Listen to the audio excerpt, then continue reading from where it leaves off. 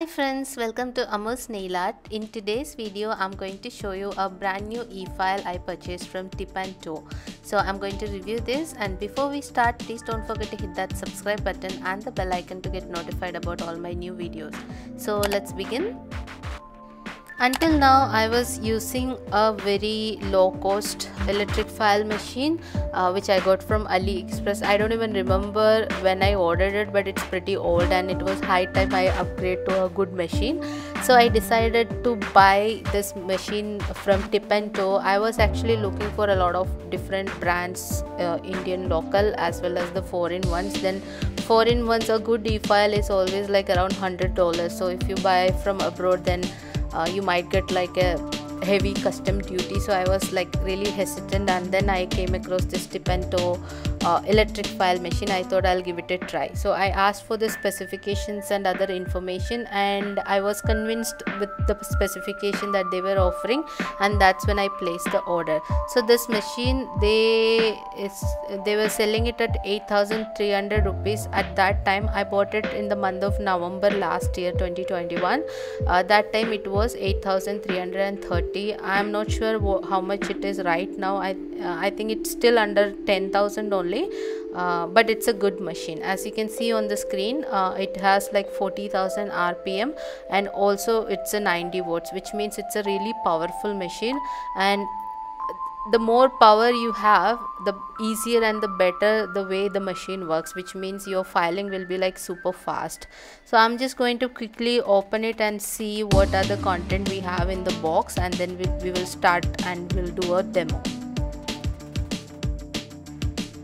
so when i open the box in the inside as well there is a lot of protective layers they have placed. So there is no way the machine is going to get any kind of damages during the transportation. So i think that's the best part. And the first item as you have just seen is the standard bits that you get whenever you buy an electric file. And the second item is the foot pedal. If you wanted to control the speed and things then you can with your legs then you can use that. Uh, next we have is the handpiece so when I lifted the handpiece uh, out uh, I felt like it's like a little on the heavier side.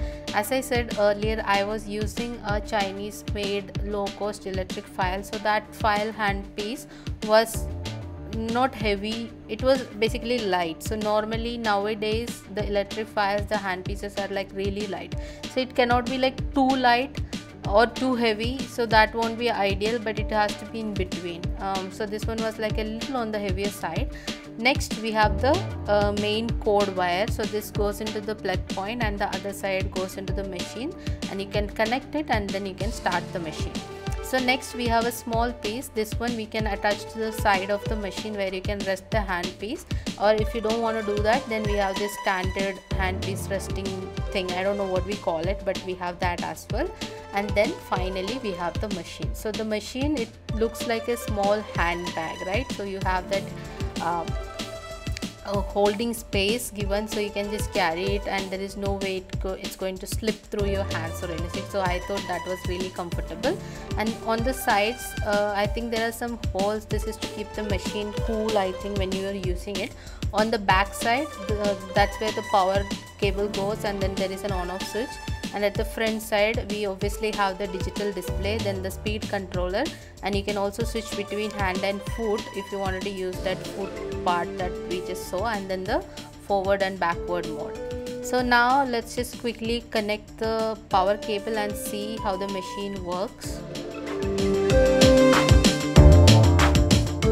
So this part of the machine it's really heavy. I think it's around 500 gram or something so what I did is I just quickly connected the power cable and I turned it on. So as you can see we have the dis display now at 0 and then it says uh, the hand mode is on and the forward mode is on. So now I'm just going to quickly connect my hand piece so that we can run it and see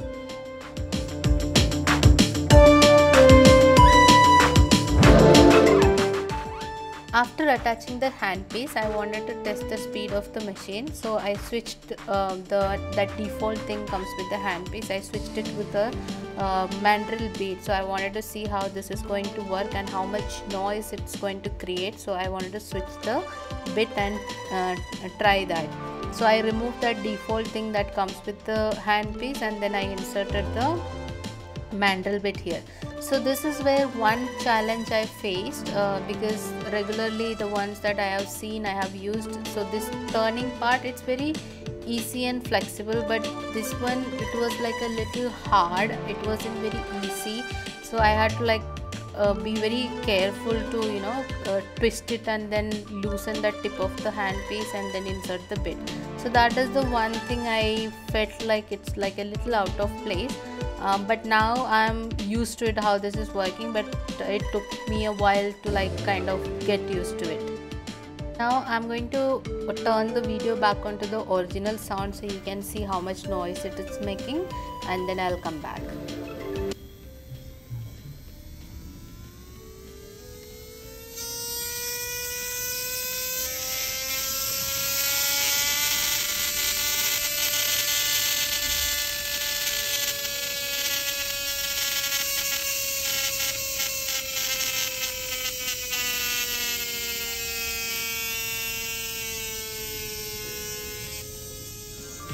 as you have just seen the machine is like super fast 40000 rpm and the sound it doesn't make much sound. Here you can see like it a little louder. That's because i used the mandrel bit to test it and i didn't realize it at the time when i was recording the video but if you use like a regular bit ceramic bit or any other bit then it doesn't make half the noise. Okay so this is in the noisy machine but it's like a really powerful machine.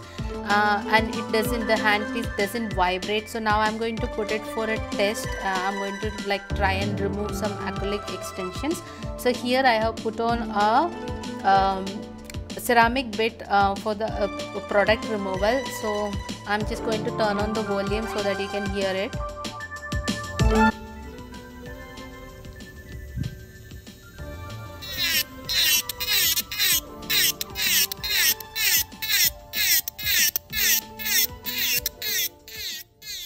So i was able to feel the difference right away. As i told you in the beginning i was using a low cost uh, electric file that I got from AliExpress and then I have like this powerful machine so the moment I touched that uh, demo hand I was able to feel the difference. It was so easy. The product was coming off like really smooth. I did not have to put any pressure uh, or any kind of effort from my side all i was doing is controlling the bit uh, so that the bit doesn't jump or it doesn't touch the cuticle area or the side walls. I was just controlling the bit but apart from that i was not putting any kind of pressure or any extra effort to remove the product. So it was so smooth so easy.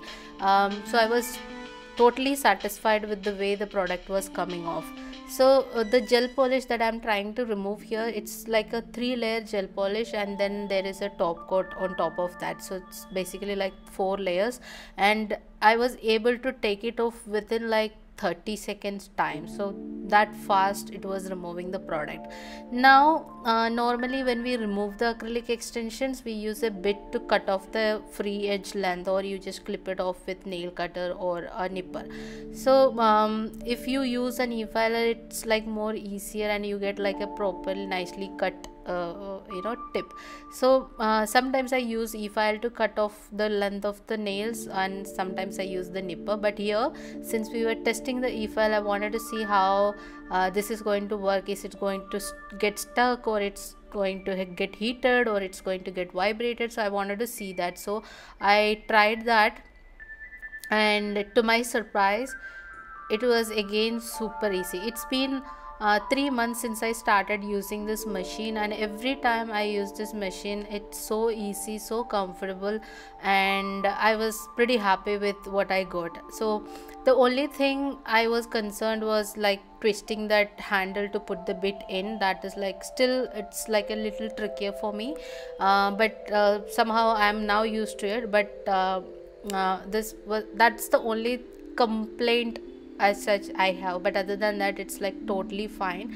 If you're looking forward to upgrade to a good machine then i can totally recommend it. This video is not sponsored by T&T this i purchased it and i did not see any review videos or anything on the internet so i thought it might be helpful for others. That's the reason i recorded this video. Now that we have seen the demo on a practice hand it's time for us to put it in the actual usage. So i have my extensions clipped off and i'm going to file off my products from the nail surface. So i have my dust collector ready. I changed the bit into a safety red abrasive mark ceramic bit and i'm going on a 28000 rpm and i'm going to take off the products. So now if you see uh, you will realize how soon i was able to get off all the product from my nail surface. So i also have like that 3d design using acrylic powder.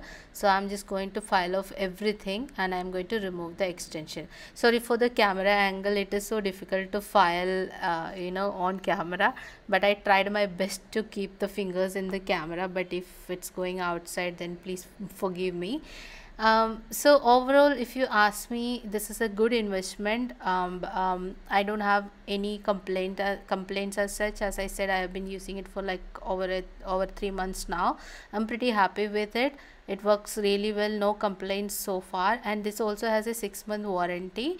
Um, so i think that's it for today's video. I hope you guys enjoyed this video. If you like it don't forget to like share comment all those good things and i'll see you soon on my next video. Any questions please feel free to leave it in the comments and i'll reply back. And that's it. Thank you. Bye bye